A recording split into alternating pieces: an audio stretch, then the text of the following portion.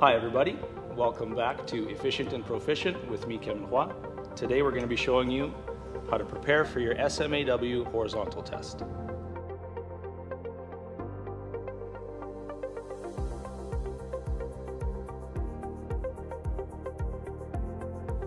The purpose of this test is to have you qualify to weld structural steel in Canada. Just to be more clear, you have to qualify for your flat position first before you tackle this test. So why would you want this ticket? Well, basically it opens up the door to opportunity. This qualifies you to weld structural steel in Canada, therefore making you more employable. In this video, we're going to show you what equipment you need to perform the test. We're going to show you how to prep your coupon. We're going to show you how to weld out your coupon. And we're also going to show you how to process the plate for the bend test. Here's the equipment that you'll need. A coupon cut to CWB specifications, 7018 rod out of an oven, proper PPE, a constant current power source, your grinder, and your grinding disc. No grinding allowed. Wire wheel is all you get.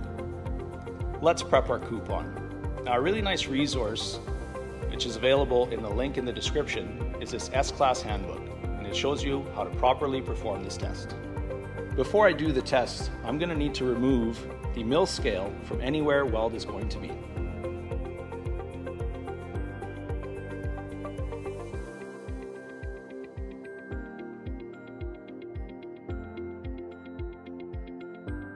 It's time to fit up and tack our coupon. The horizontal position calls for a 5 16 root gap. Some testing facilities will have coupons ready for you to weld out, but for the purpose of this video, we'll be using our jig.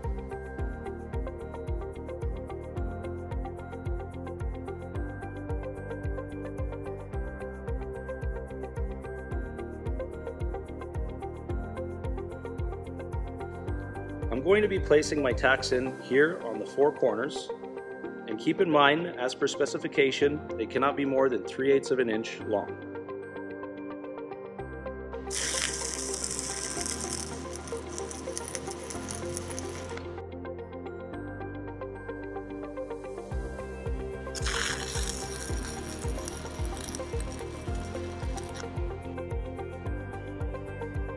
So you've probably heard of the ABCs of welding, which is always be comfortable. What I like to do is spread my feet out, put my hip on the table, and tuck my elbow onto my stand.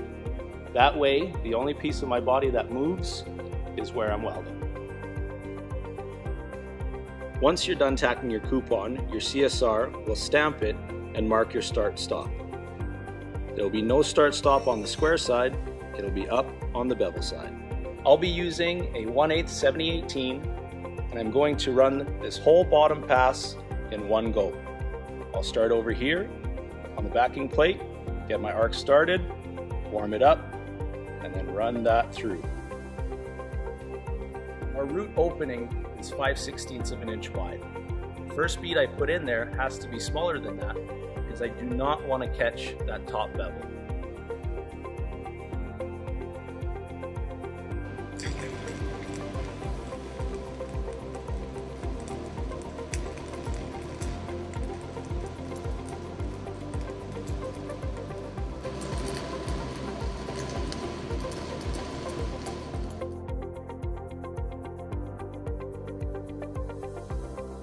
As you can see, the soot from my first pass has covered up my mark. There's a quick and easy trick to get around that.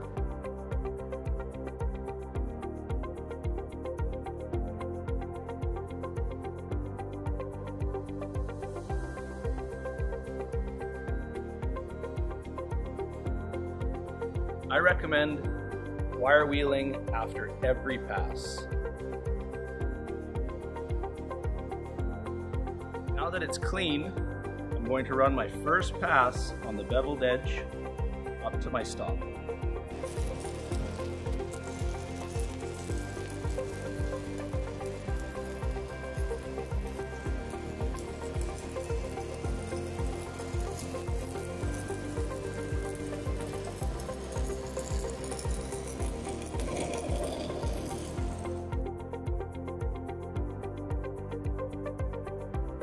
It's important to tie both the bevel and your first bead together.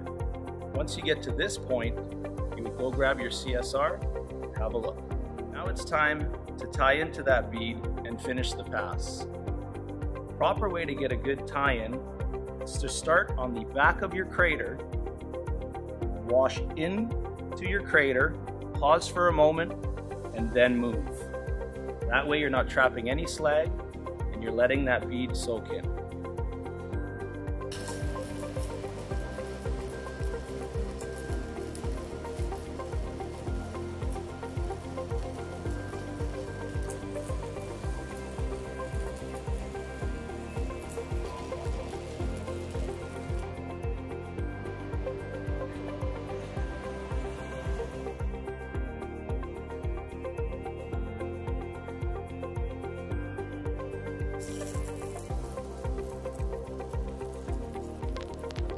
Brought the up to flush by running a series of small hot passes.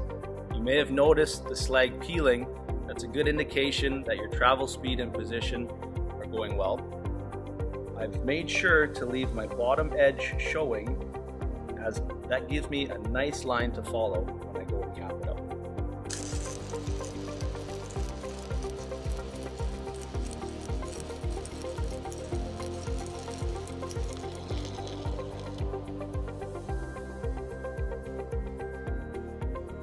This last pass is prone to undercut. So I'm going to come in with a pretty aggressive angle on my rod to try to fight that heat and gravity.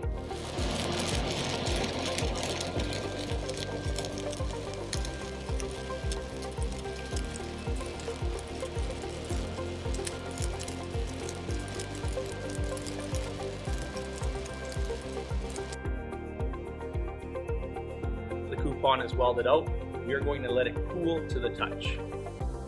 I hope that me showing you the tools you'll need, how to fit up your coupon, and how to weld out your coupon has been helpful. Thanks very much for watching Efficient and Proficient with me, Kevin Black.